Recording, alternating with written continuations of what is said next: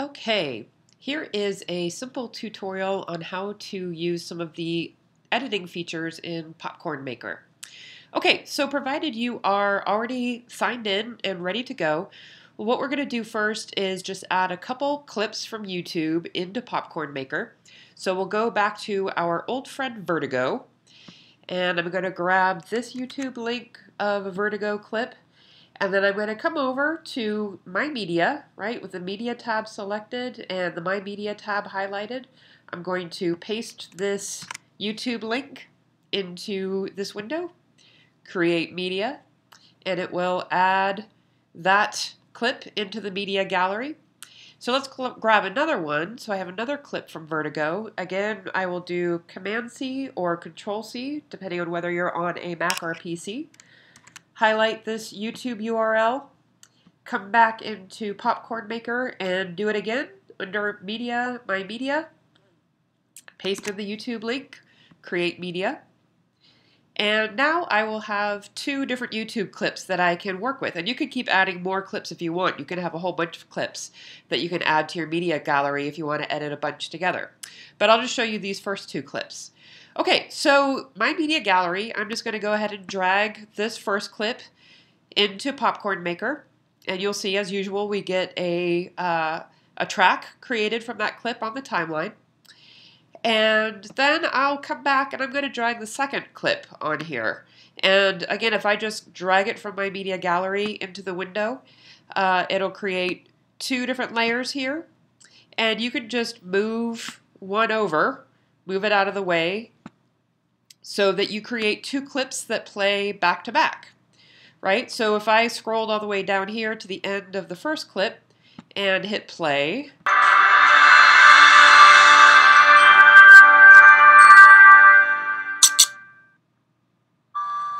And then you could see there was a little bit of a blank spot there, but then it jumps to the next video, right? So already you've just linked two different videos together, created a very simple edit. But that might be a little bit too simple, and maybe you don't want all this kind of junk that's on the end of this particular clip. So there's a couple other things you can do. One, you can shorten a clip from the end by just hovering over the timeline down here and grabbing the end of that clip and pulling it up until we get to, we want to get rid of that kind of junk at the end. So it looks like uh, we're almost there. I'm going to make it a little bit shorter. And now if we play through,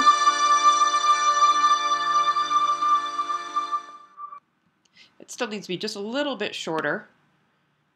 But now it should end at a good spot before all that stuff comes in.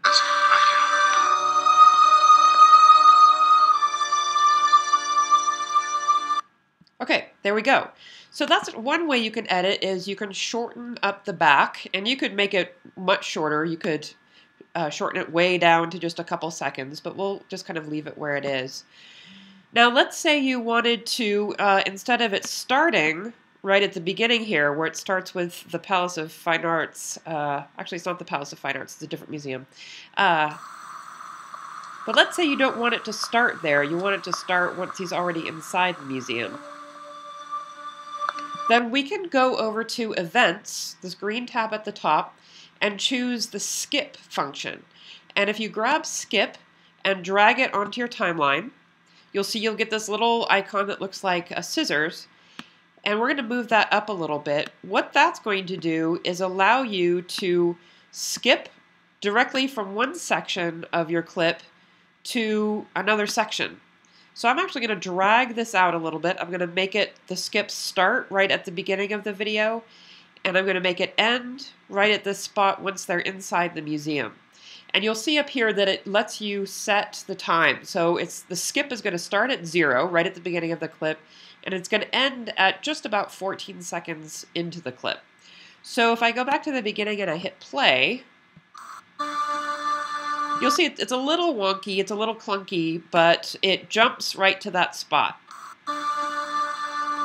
And you could do that a bunch of times. So we could come back into events, we could bring another skip down, and let's say we we wanted to skip from where he's kind of turning to where he's already turned around.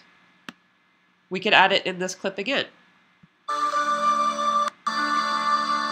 So again, it's a little bit clunky, but you can kind of see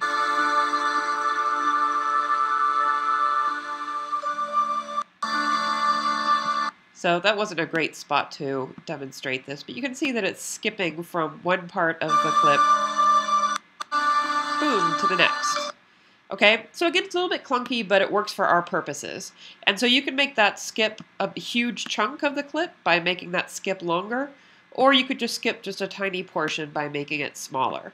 So basically, this little button just says skip the part that's right above it.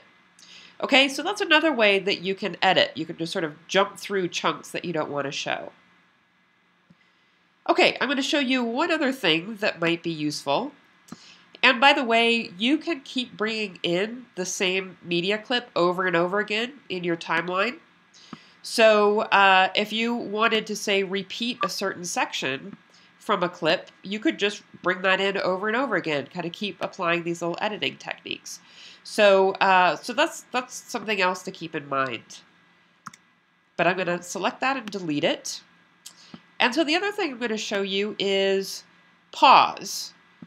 So let's say you wanted to bring in a pop-up, right? You're going to add some text over here. We've done that before.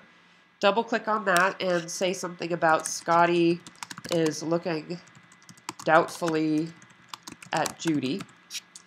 But let's say you really want to just hover on this frame for just a second while that pop-up pops up. You don't want the video to keep moving.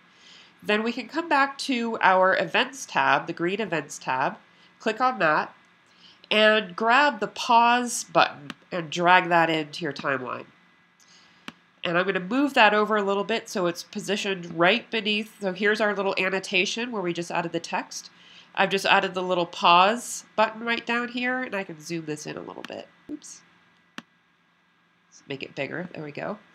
So uh, I have the, the text annotation at top, and then I've added a pause at the bottom.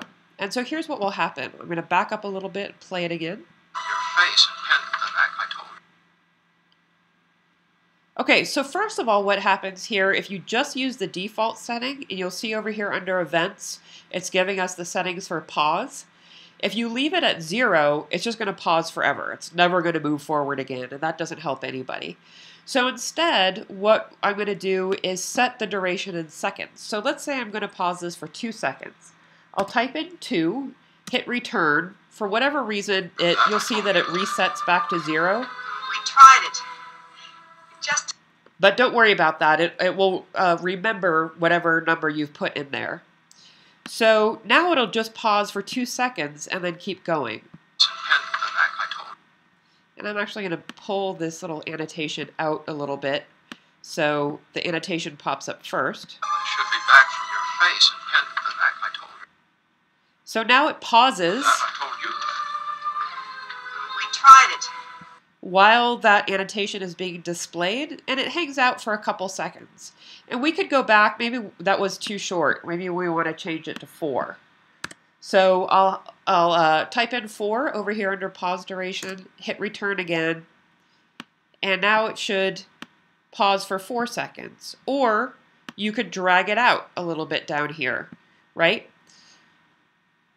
And so let's hit play. Your face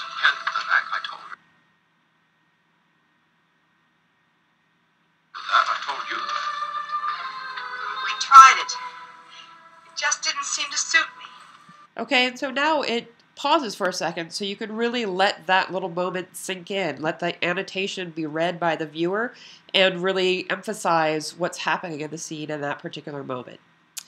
Okay, so those are a few different things that you might want to use to do some simple editing in Popcorn Maker to make a slightly more sophisticated or complex video essay.